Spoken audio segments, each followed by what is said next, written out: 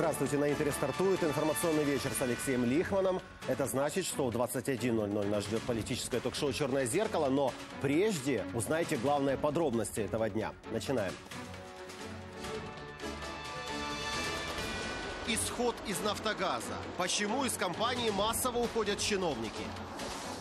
Репетиция отчета. Как премьер в Раде об успехах доложил, но пока не официально. Корейское обострение. США и КНДР уже в открытую грозят друг другу войной. Большое послание нардепам. Ровно год назад парламент проголосовал за нового премьера и новый состав правительства. Сегодня Кабмин Гройсмана собирал овации и рассказывал, как стране жить дальше. О чем просил премьер депутатов, к чему призывал, какие реформы обещал и, главное, услышали ли Гройсмана слуги народа, все в сюжете Екатерины Лысенко. Даже до половины зала не дотянули. Только Народный фронт и Блок Петра Порошенко смогли хоть как-то мобилизоваться. Хотя сегодня в зале не просто традиционный разговор министров с нардепами, а годовщина работы Кабмина. На овации уже со старта избранники не скупятся. Рівно рік тому ми тут в залі проголосували за обрання. Давайте привітаємо наших колег. Привітаємо з річницею. У трибуны сегодня главный премьер. Это не отчет о выступлениях, хотя говорит Владимир Гройсман и о достижениях, и о направлениях, и о единстве, к которому в парламенте то и дело призывают. Ми маємо бути з вами об'єднані. Я думаю, що час, коли ми маємо трішки відставити в сторону свої політичні прапори, настав. У нас має бути єдиний прапор це прапор нашої держави. Дальше список задач. Все они прописаны в меморандуме с МВФ, но теперь их нужно оформить в законопроекты и проголосовать. Первым делом – пенсионную реформу. Нам потрібно провести ефективну пенсійну реформу. Ми зможемо до більше ніж 5 мільйонів пенсіонерів з 1 жовтня підняти пенсію від 200 до 1000 гривень щомісячно. Ми відмінимо з вами оподаткування пенсій для працюючих пенсіонерів. Ми зробимо перерахунок іще 4 мільйонів пенсій і підміні- піднімемо мінімальні соціальні стандарти.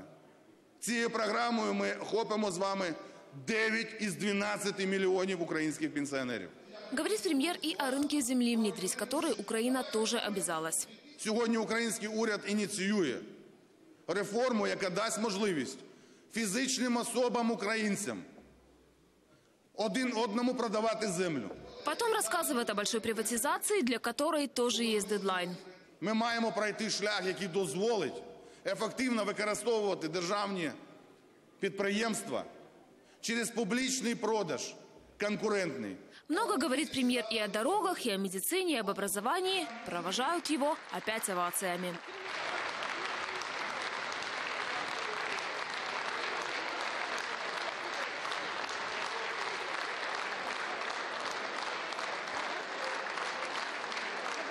Дальше вопросы уже с места, даже у фронтовиков касаются будущей работы правительства.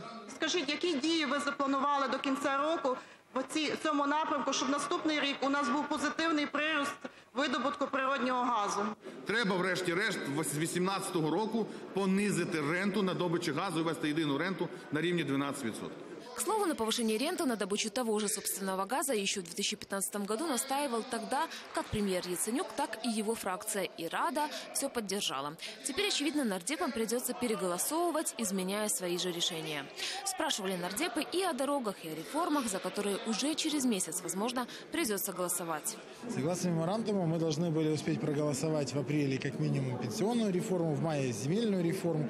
Посмотрим, будет это готовиться или не будет. Міністерство соціальної політики має чітко сказати е, мешканцям країни, людям про те, як буде змінюватися е, пенсійна реформа. Нехай вони покажуть законопроекти по пенсійній реформі. До речі, вони ж поставили підпис до кінця квітня.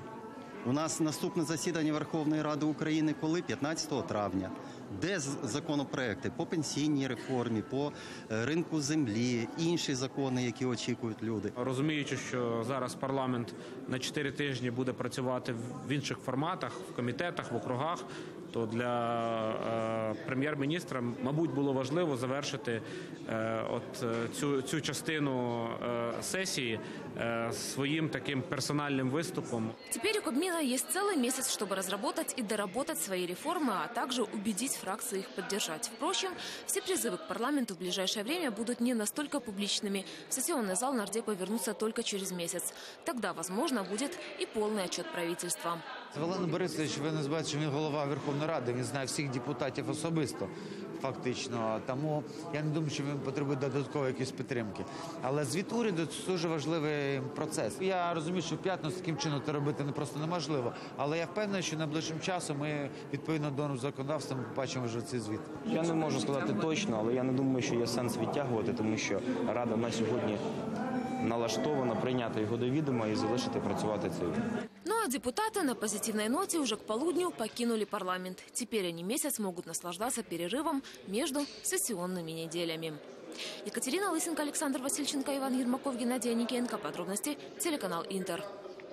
Интересно, какие оценки деятельности Кабмина за год выставят эксперты и политики в студии «Черного зеркала». Мы узнаем это уже скоро, после подробностей. Поговорим и о депутатских итогах. Ведь если премьер о своей работе доложил, то чем хвастаться нардепом? С какими достижениями они покидают сессионный зал перед долгими каникулами? Причем, вероятнее всего, вдали от родных берегов. Да и как будут работать потом? Об этом мы спросили у политологов значительную часть законопроектов запланированных в апреле, они их не, не приняли. А, соответственно, дальше у них почти месяц каникул. То есть, а дальше э, останется месяц работы.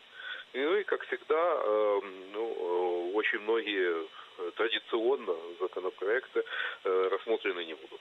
Ничего удивительного в том, что война войной, кризис, а Мальдивы по расписанию. Это не, эм, скажем, споры о эм, изъянах или достоинствах законопроектов. Это просто э, э, явная демонстрация того, что законодательная деятельность для депутатов является, ну, депутаты э, приходят в Верховную Раду не э, реализовывать политические программы, государственный интерес, а они приходят заниматься э, туда большим и малым бизнесом.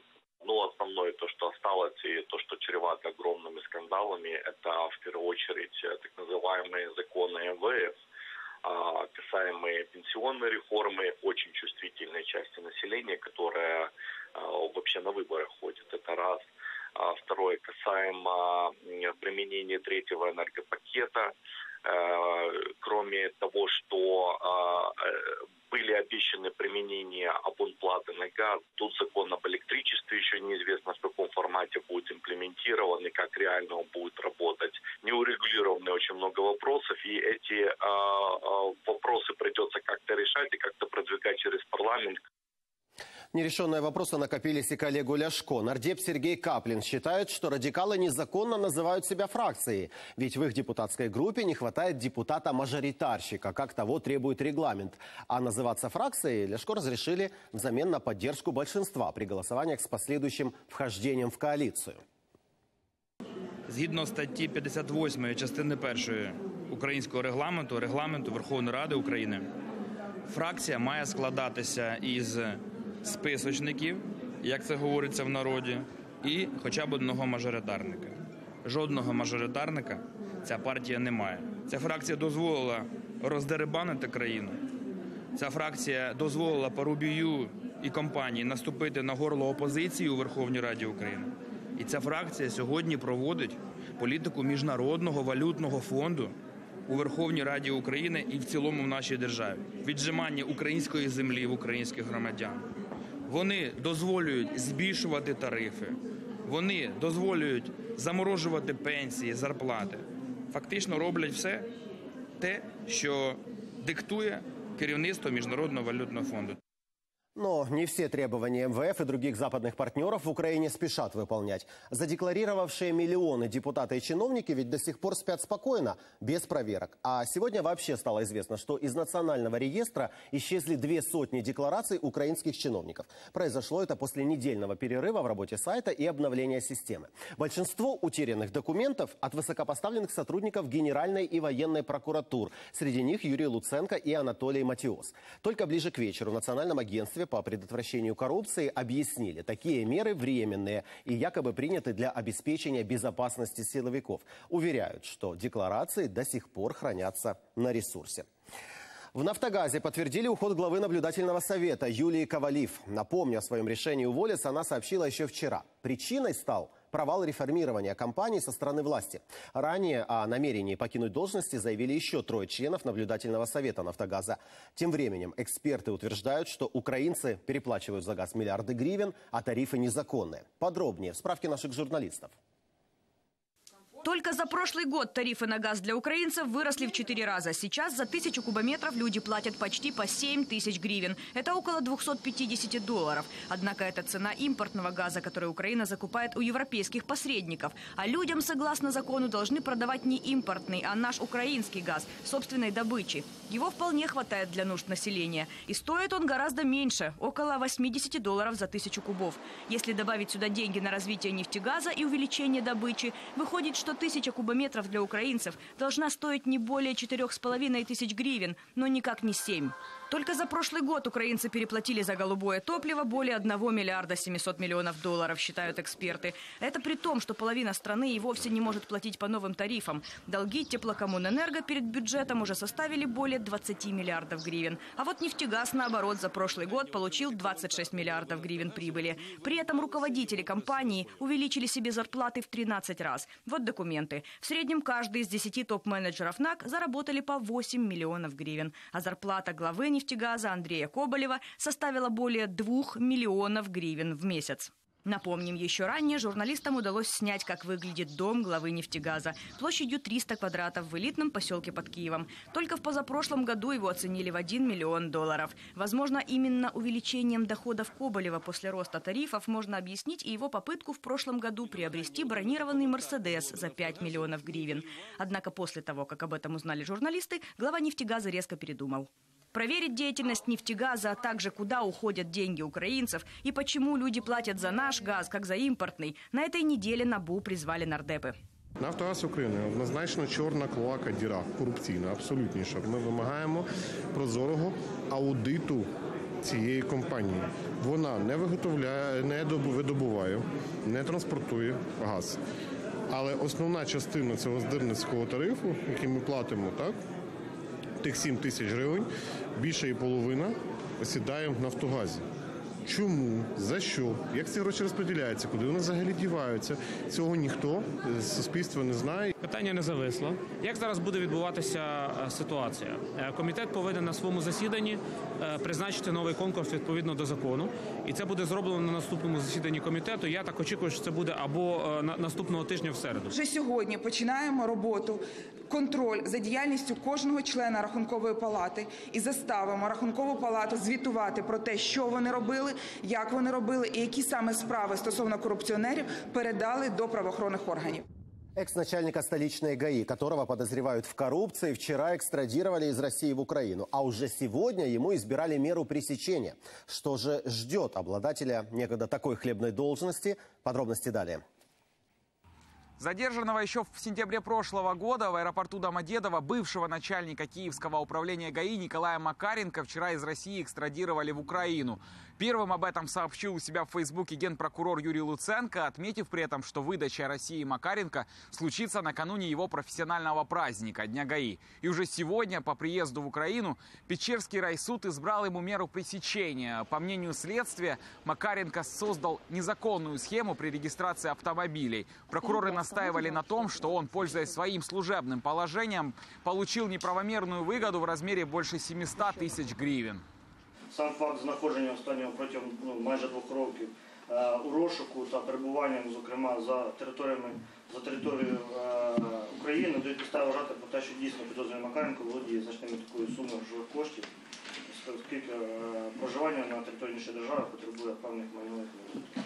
Сам же Макаренко от обвинений полностью открещивается. Доказательства называет сфабрикованными. Рассказывает, в России был на лечении. Там же сотрудники ФСБ предложили ему политическое убежище. Но принять его, как говорит сам бывший начальник столичного ГАИ, отказался, потому что денег на жизнь за границей не хватает.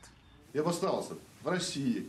Мне три раза ФСБ, Генеральной прокуратуре предлагали политическое убежище. И как здравомыслящий человек, и здесь и присутствующий, мне проще было взять политическое убежище и остаться в Москве, да? Или в Крыму, на всякий случай.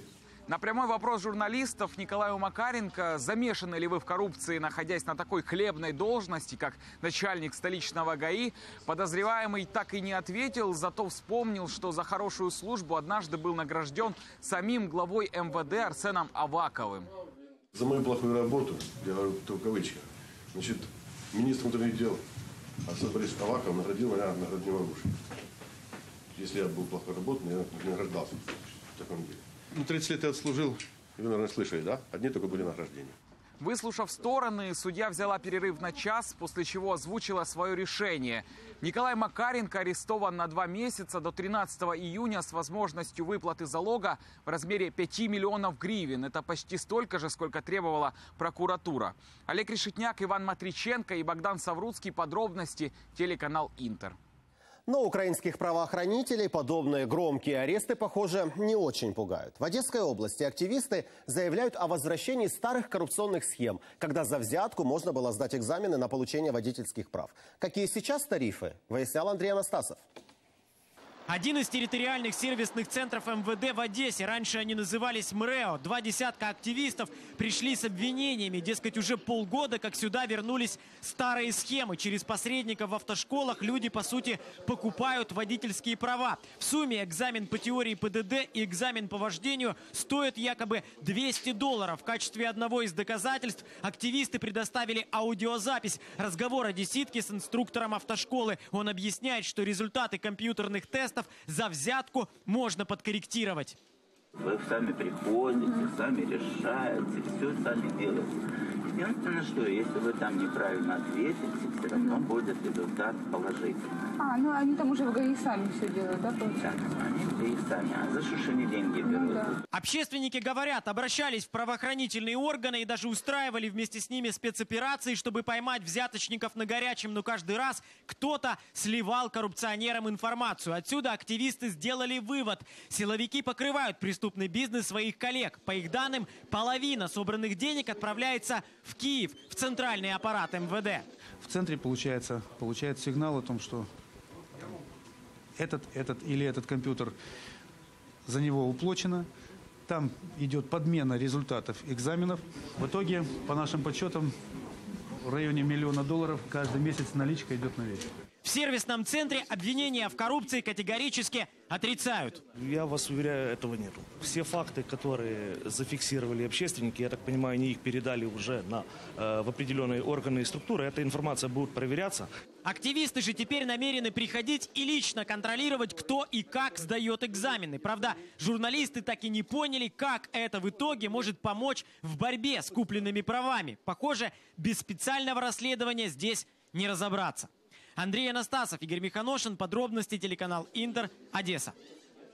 А вот борьба с преступностью у наших правоохранителей не задается. По крайней мере, мир этого не видит. Мы заняли 124 место в рейтинге самых безопасных стран мира. Список составили эксперты Всемирного экономического рейтинга. Всего в перечне 136 государств. Наша страна обогнала только несколько стран Азии, Африки и Латинской Америки. Например, Пакистан и Гондурас. В Николаеве предупредили контрабанду украинского военного оборудования в Россию. Операцию проводила СБУ вместе с военной прокуратурой. Двое сотрудников госпредприятия «Заря Машпроект» выносили с завода запчасти для газотурбинных установок. В России их планировали использовать для ремонта военных кораблей. Дельцы вывозили детали небольшими партиями и складировали дома. На предприятии заметили недостачу и обратились в СБУ. Мужчин поймали, когда они в очередной раз пытались вывести детали с завода. Обоих задержали. Суд уже избрал им меру пресечения, содержание под стражей. За нелегальную торговлю военным оборудованием им грозит до 4 лет тюрьмы. Спроба контрабанди була е, на замовлення російської сторони е, громадянина Російської Федерації, представника комерційної структури, е, який діє. е, Який діяв на замовлення військово-промислового комплексу Російської Федерації, те, що вилучили з авто при спробі вивести з підприємства, це лише мала частина того, що вилучили в е, е, під час е, подальших наступних обшуків. Из крупнейшего мирового экспортера минудобрений в импортеры. Всего за год Украина лишилась звания одного из крупнейших поставщиков азота. По подсчетам финансистов, миллиарды долларов уже потеряны для нашего госбюджета. Отечественный производитель практически на грани закрытия. Зато монополистом на украинском рынке азота, как ни странно, стала Россия. Сегодня группа нардепов обратилась к правительству с депутатским обращением не допустить остановку черкасского азота. Требует защитить отечественный рынок минеральных удобрений от от монополизации производителями из страны-агрессора.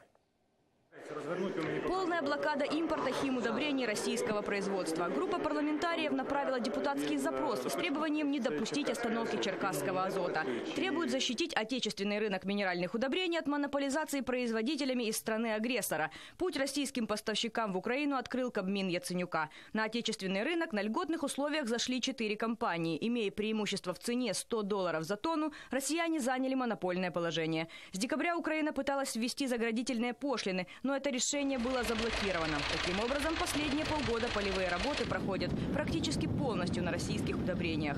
Міжвідомча комісія, яка по суті зняла мито з російських підприємств, і вони вільно продають для українських фермерів тобто ті самі міндобрива, які по суті за перше півріччя 2016 року це на більше, ніж 2 мільярда гривень. А і не доплачено до українського бюджету 422 мільйона гривень. Ну це є величезні кошти для українського бюджету на сьогоднішній день. Одна из компаний, работающих на украинском рынке, Еврохим, принадлежит российскому олигарху Андрею Мельниченко. Это крупнейший производитель минудобрений в России. С 2012 года предприятие участвует в федеральной программе модернизации российской армии и флота и в оборонку по заявлениям руководства Еврохима компания вложила крупные суммы. По мнению нардепов, члены межведомственной комиссии, позволившие Еврохиму торговать в Украине, преследуют свои интересы.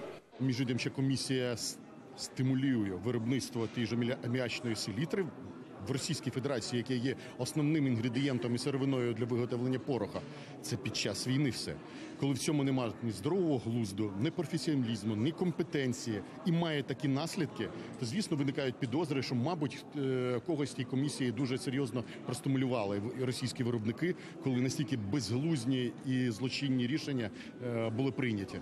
Стимулирование российского производителя – это гол в свои ворота, считает финансовый аналитик Александр Охрименко. Всего за год Украина из главного экспортера минудобрений превратилась в импортера, а это миллиардные потери для бюджета, которые пытаются закрыть кредитами МВФ. Украина, как правило, на экспорте тех же минеральных удобрений зарабатывала 3-4 миллиарда долларов. Сейчас же, соответственно, мы, так как не производим, экспортировать ничего не можем, мы покупаем из-за рубежа. В результате потерял украинская промышленность, плюс ко всему мы потеряли и экспортный потенциал. В свое время э, химическая промышленность ВВП занимала 10%. Сейчас с трудом занимает около там, 3%. То есть, как видите, падение довольно большое. И действительно, пока не возродим химическую промышленность, в общем-то, это будет трагедия для всей экономики Украины. Прекратить торговлю с Россией и поддержать украинских производителей требуют парламентарии. И если Кабмин не прислушается к ним, готовы пойти на радикальные меры.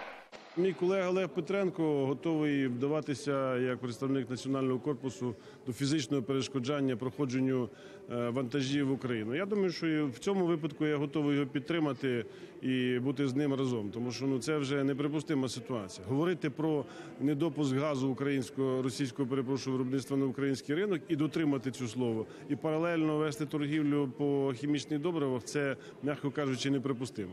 Що залишиться? Блокувати. Е робити блокаду на російському кордоні, щоб не завозились таким кількістю селітра, десь пару вагонів привезти під Кабміном висипати. Ну можливо, і до того прийдеться дійти. Разобраться в ситуации на рынке минудобрений нардепы просят также НАБУ и Генпрокуратуру, а заодно и проверить членов межведомственной комиссии, не участвуют ли они в коррупционных схемах. Оксана Григорьева, Леонид Аборин, подробности, телеканал Интер. А в зоне АТО только с начала этих суток четверо украинских военных получили ранения. Боевики продолжают вести огонь по всей линии фронта, применяя крупнокалиберные минометы и бронетехнику. Жарче всего на подступах к оккупированному Донецку. А ситуация на передовой расскажет наш корреспондент Станислав Кухарчук. На этих полях под Донецком уже должна была зеленеть пшеница, но уже третий год здесь линия фронта, и большинство населения выехало. Командир с позывным «Боцман» осторожно обходит позиции, говорит, со вчерашнего дня, с 10 утра, в очередной раз должен был вступить в силу режим тишины. Но для боевиков это, похоже, не имеет значения, как и первоапрельское перемирие. 120-й Лусь, Лусь. 120-й приходить, да? Ну да, ви ж чуєте Кілометра три біля нас. Намного, бля, во время перемир'я почали працювати більше безнаказано їхні міномети 120 і 82. С такими обстрелами каждый день на наших позициях раненые. Больше всего достается защитникам Авдеевской промзоны. Отсюда хорошо слышны звуки ожесточенных боев. З перемир'ям нам не можна стріляти, а по нам стріляють. Та це далеко, це в Авдіївці. А ну взагалі ми майже в Донецьку стоїмо, мабуть, вони бояться, що ми скоро м, відвоюємо свою землю. За родную землю большинство бойцов воюют еще с 2014 года. Это бывшие менеджеры, учителя, водители и строители. За три года войны ребята устали и давно бы сломались, если бы не поддержка украинцев. Вы знаете, это больше как морально. Почему? Потому что это идет поддержка с, э, с тыла. То есть родные беспокоятся за нас. Год назад эта лесополоса еще была в руках боевиков. Так, шаг за шагом наши военные освобождают землю от оккупантов. Константин убежден, что скоро снова зайдет на территорию бывшего Донецкого аэропорта. Отсюда видны его руины. В 2014-м он был среди защитников терминала. Обязательно хочется зайти, почтить память тех всех хлопцев, которые там погибли.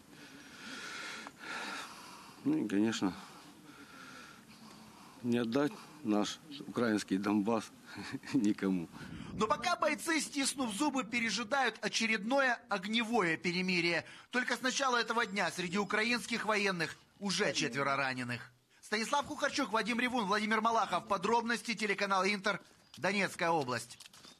США сбросили на Афганистан свою самую мощную неядерную авиабомбу. Ее называют матерью всех бомб.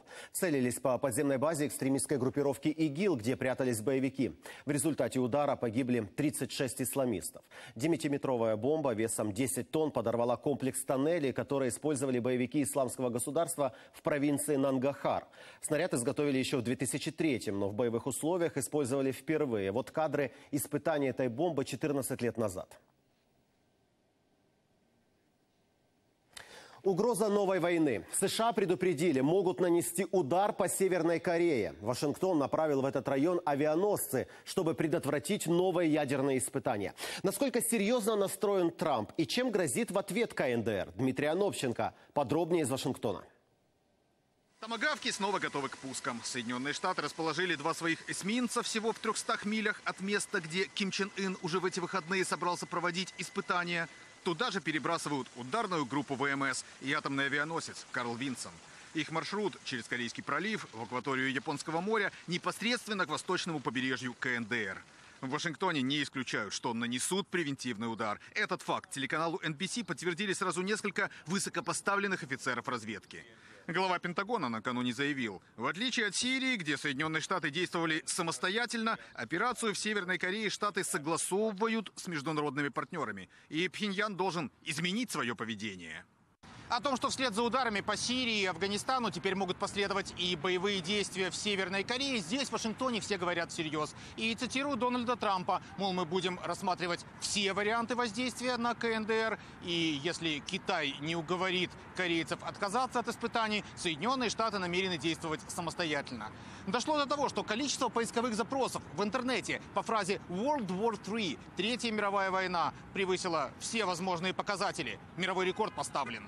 А дело все в том, что Ким Чен Ын не Асад. Он обиду не проглотит. Уже сейчас угрожает ответными ударами. Его генштаб прислал официальное заявление. Уничтожат американские корабли. Мол, чем ближе они к нашей территории, тем более эффективным будет удар. А еще обещают атаковать американские военные базы в Японии и на территории самих Соединенных Штатов и сравнять с землей резиденцию главы соседней Южной Кореи. Иностранные журналисты, которые находятся сейчас в Пхеньяне по приглашению режима Ким Чен Ына, э, передают, что местные чиновники в интервью говорят им откровенно, если Америка атакует, то Северная Корея в ответ начнет войну. Многие даже предполагают, что такое огромное количество журналистов, которых пригласили местные власти, это попытка создать э, так называемый живой щит на случай осложнения ситуации. Ситуация откровенно сложная. Это признают все, от ведущих журналистов до военных экспертов. Развязка, возможно, уже завтра-послезавтра. Ведь испытания, которых пытается не допустить Трамп, планировали приурочить ко дню рождения Ким Ир Сена. А годовщина-то 15 апреля. Из Соединенных Штатов Дмитрий Анопченко, Юрий Романюк. Американское бюро телеканала «Интер». Продолжаем подробности. Вот что узнаете из второй части выпуска. Ядовитые воды и земли Ковеля. Как скотомогильник отравляет жизнь города. Неспортивные страсти. Футбольные фанаты устроили французско-турецкое противостояние на поле.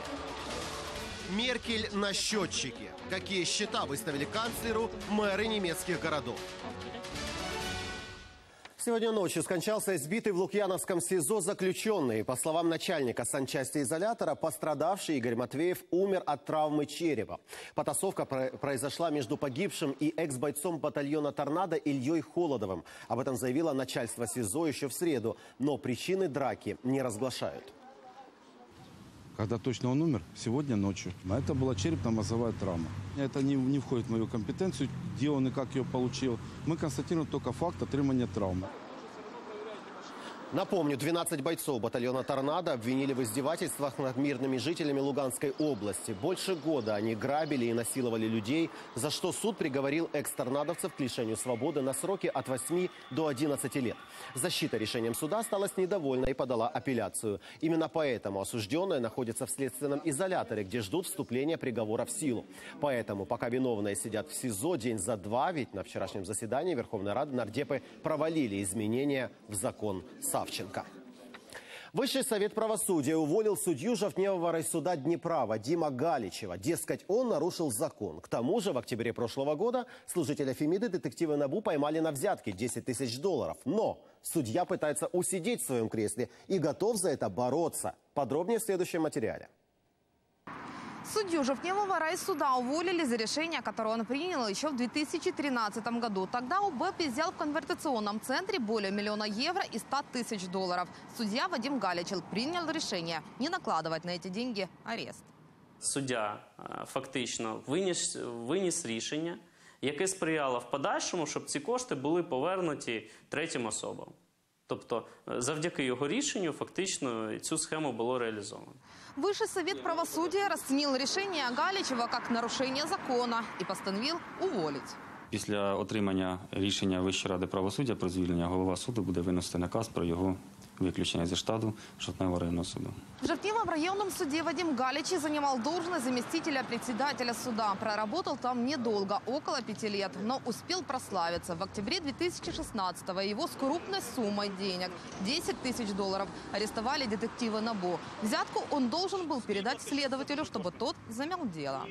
Суддю було затримано одразу після прийняття ним неправомірної вигоди У розмірі 10 тисяч доларів США. Також було проведено санкціоновані обшуки у його службовому кабінеті та за місцем його проживання, де було знайдено 55 тисяч доларів США, 13 тисяч євро та 138 тисяч гривень, а також ювелірні вироби. Но под стражей Вадим Галичий пробыл недолго. Соломенский суд Киева выпустил его под залог в 260 тысяч гривен.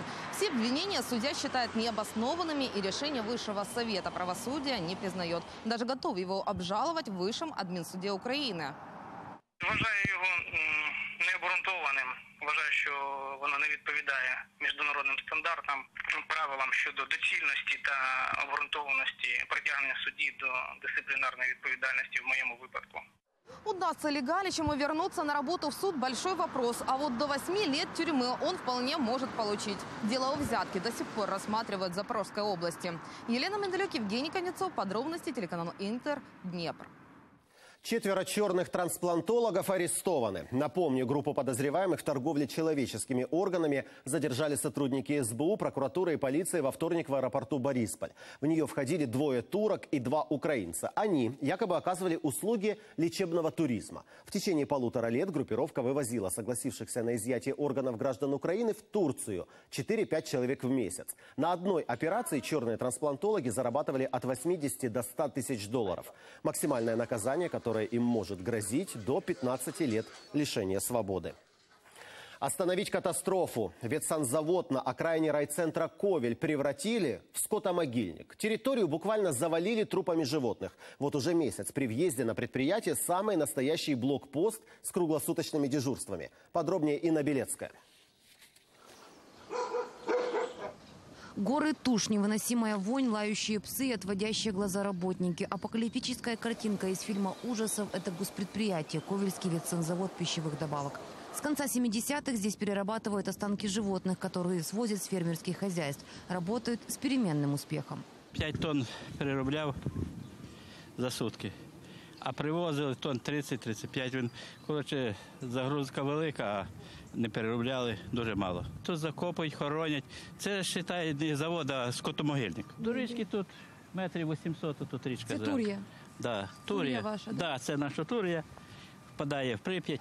Зима скрывала масштабы катастрофы. Несколько месяцев сюда одна за другой шли машины с останками. А ночами їздять, їздять, їздять. Зима навалила снігу. Ми ж не бачили, що там. А тут сусід поїхав. Е, Каже, ви дивіться, що там робиться. Ми всі як пішли. Це ужас. Там же свині, ку- кучі. Ну це був шок, звісно, для всіх нас. На территории предприятия и вокруг него около трех тысяч тонн костей, перьев, шкур. Все это издает смрад, загрязняет почву и несет опасность. В 400 метрах жилые дома. Этой весной жизнь жителей Ковеля превратилась в ад. Воду из колодцев пить опасно, надо ждать привозную, а дети играют с черепами. Ну, постійно ходить, грається, принесе якогось черепа додому або кості, і там коло хати граються тими черепами. Ну це возможно таке, щоб е, е, діти ото присовували Ну, і дивіться, такі іграшки. Вот, вот уже месяц при въезде на завод настоящий блокпост. Люди дежурят и не пускают машины с останками. Записуємося по 2-3 чоловіка. Це три, чотири чоловіка, коли на ніч чотири чоловіка, на день два чоловіка. Да. Ну, а як же? Круглі сутки. Сейчас завод и вовсе остановился. Директор, назначенный из Киева, отсутствует. Завод на даний момент простой. А чого в простої? Скажіть ви. Ну коли він зупинив, ну, зупинив роботу? Чого так сталося? Я нічого не знаю. Работники отвечать на вопросы не хотят, но блокпост их возмущает. Хто сфотографіруйте? Бо там що робиться на дорозі екологію? Що там робиться? Бачили, що робиться? Скати ще проволока, все валяє, екологія яка? Що не сфотографіруєте? Я сфотографував і в інтернет послав теж. Люди со страхом ждут тепла. Они оббивают пороги местных историчных кабинетов, но везде получают отписки. У нас приїжджають, пишуть нам бумажки, відписують нам письма. Теперь жители Ковеля просят, чтобы вмешалось руководство страны. Заявляют, летом городок в 60 километрах от границы Евросоюза окончательно превратится в зловонное место экологического бедствия. Открытие уголовного производства проблему не решит, даже если прокуратура найдет виновных. Останки нужно вывозить. Вот только куда? Об этом должны думать власти. Инна Белецкая, Николай Василюк. Подробности телеканал Интер. Волынская область. Ангеле Меркель выставили счет. Мэры немецких городов. Они требуют от канцлера компенсировать расходы на содержание беженцев. О каких суммах идет речь и как реагирует официальный Берлин, знает Татьяна Лагунова. Берлин, офис канцлера, лично в руки Ангели Меркель. Мэры немецких городов шлют письма в столицу со счетами. Они требуют от правительства компенсировать расходы местных бюджетов на содержание, питание и интеграцию беженцев. Первым выставить счет Ангели Меркель решился городоначальник саксонского Фрайберга на сумму 736 200 евро. Свен Крюгер подсчитал, именно столько потратил город на содержание 2000 беженцев. Инициативу саксонского мэра подхватили и коллеги из других городов. И тоже начали считать, сколько денег выделило государство, сколько реально потрачено и каков дефицит. В Берлин полетели счета. Мэр Хеммингена требует компенсировать 620 тысяч евро. Его коллега из баварского Ландсхута 2 миллиона. А градоначальник Лангенфельда не досчитался вообще баснословной суммы – 4 миллионов евро. Руководители на местах жалуются, правительство выделяет деньги, но их банально не хватает. И Просят либо увеличить финансирование, либо пересмотреть миграционную политику. Официальный Берлин жалобы недовольных мэров пока не комментировал, но на них уже отреагировали руководители местных правительств. Мэров, которые выслали счета в Берлин, пригласили на разговор к премьерам земель, чтобы обсудить, как залатать дыры в местных бюджетах. Татьяна Лугунова, Вячеслав Фролов. Подробности немецкое. Бюро телеканала «Интер». Ле Пен могут лишить парламентского иммунитета. Французские исследователи обратились с просьбой снять неприкосновенность лидера ультраправой партии «Национальный фронт», а также депутата от ее политсилы Мари Кристин Бутанне. Подозревают их в растрате средств Европарламента в пользу Национального фронта, а именно трудоустройстве помощников, которые получали зарплату, но никакую работу при этом не выполняли и даже не появлялись в Страсбурге. Ранее Ле Пен заявляла, что не собирается являться для дачи показаний, поскольку имеет депутатскую неприкосновенность. Более половины граждан Турции готовы поддержать Эрдогана на референдуме в воскресенье. По данным соцопросов, за расширение полномочий президента готовы проголосовать более 51% избирателей. Но здесь стоит отметить, что на результаты может серьезно повлиять и волеизъявление миллионов турок за границей. На референдум 16 апреля вынесен вопрос о поправках к Конституции страны, в том числе и переходе от парламентской формы правления к президентской республике. Еще один неудачный день для европейского футбола. Четвертьфинал Лиги Европы между французским Леоном и турецким Бешикташем начался с драки фанов, которые выбежали на поле. Матч откладывали около часа, пока не успокоили болельщиков. Подробнее уже о третьем футбольном инциденте за неделю Елена Абрамович. О том, что эта игра опасна, власти Леона понимали. В городе ожидали 15-20 тысяч турецких фанатов. Матчу присвоили категорию максимального риска и подготовили тысячи стюардов. Но стычки между фанами начались за два часа до начала игры. Возле стадиона. Чтобы разогнать болельщиков, полиция использовала слезоточивый газ и шумовые гранаты. Игру задержали, так как на поле выбежали болельщики Леона. Турецкие власти уже успели обвинить именно их в срыве матча. Но очевидцы рассказывают, французские фанаты на самом деле убегали от турок, так как те забрасывали их петардами, а потом ворвались в секцию Леона и устроили драку. Неспокойно было и вокруг стадиона. Игра началась на 45 минут позже, после того, как фанов удалили с поля. Для европейского футбола это уже третий инцидент за неделю. Во вторник в немецком Дортмунде подорвали автобус местной Боруссии, из-за чего матч перенесли. А в среду в Мадриде фанаты английского Лестера затеяли масштабную драку с испанской полицией. Елена Абрамович, Евгений Каминский. Подробности. Европейское бюро телеканала «Интер». В Иерусалиме палестинец набросился с ножом на гражданку Великобритании. От полученных ранений 23-летняя женщина скончалась в больнице. В Израиль она приехала как туристка. Пострадали еще два человека. Злоумышленника задержала полиция. Это 57-летний мужчина. Следователи предполагают, что у него психическое расстройство. Сегодня у христиан Страстная Пятница. В этот день верующие вспоминают страдания Христа, которые он принял на кресте. А в Иерусалиме традиционно организовывают шествие по крестному пути. Вместе с украинскими паломниками шел и наш корреспондент Сергей Ауслентер. Группы паломников из Европы и Америки, Австралии и Африки, сменяя друг друга, движутся по крестному пути. Украинская группа многочисленная. Люди приехали со всей страны. Есть из Луганска, Киева, Харькова, Одессы. И совсем молодые и очень пожилые. Все идут по пути, который Спаситель прошел один раз, тысячи лет назад. Меры безопасности беспрецедентные. Такое скопление людей чревато и атаками террористов, и обыкновенной давкой. Поэтому на каждом углу старого города блокпосты, солдаты, полицейский спецназ, кинологи, снайперы.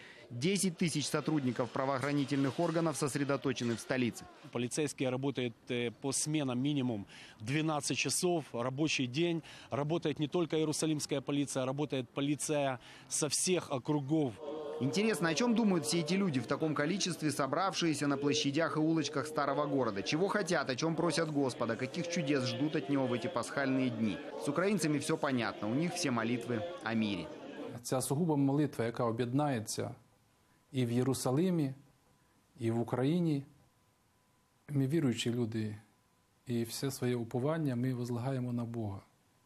І тому ми віримо, що Господь, який постраждав ці дні в Єрусалимі, і Божа Мати, яка була присутня при стражданнях свого сина, обов'язково нам допоможуть.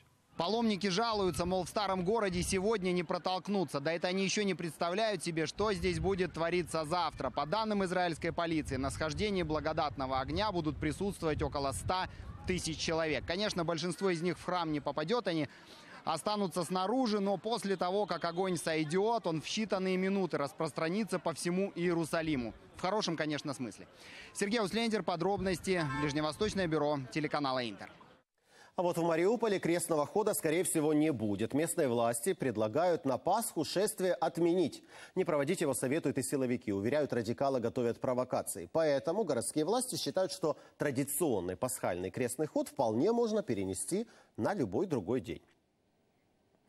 За что саудовскую принцессу уволили с должности главного редактора журнала «Вог» и как восьмилетнему мальчику удалось угнать автомобиль. Об этом и не только в нашем обзоре международных новостей.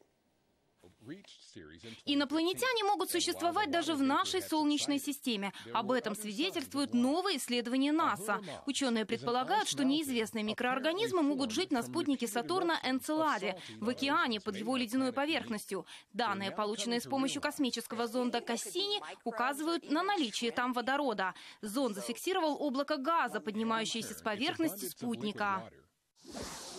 В американском Лас-Вегасе произошел пожар в знаменитом отеле казино Беладжо. Загорелась крыша огромного комплекса. Языки пламени поднимались на высоту 9-12 метров. Несмотря на это, некоторые игроки хотели продолжать игру. К счастью, пожарным удалось справиться с огнем, никто не пострадал.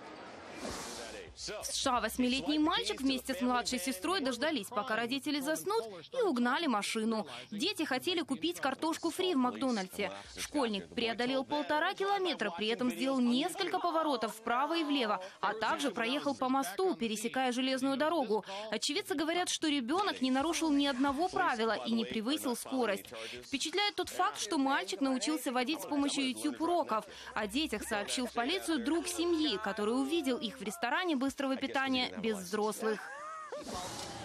Экстремальная религия. На Филиппинах в Страстную Пятницу люди добровольно идут на распятие в знак памяти о страданиях Иисуса. Считается, что этим они повторяют крестные муки Христа и дают дань памяти его страданиями и смерти. Это ежегодный ритуал в стране, где основной религией остается католичество.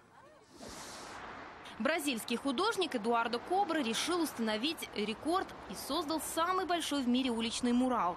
Рисунок достигает ошеломляющих 20 метров в высоту, а площадь всей композиции более 5000 квадратных метров. Художник работал над муралом в течение двух месяцев и за это время использовал 100 галлонов белой краски, 400 галлонов цветной и 3500 банок спреев.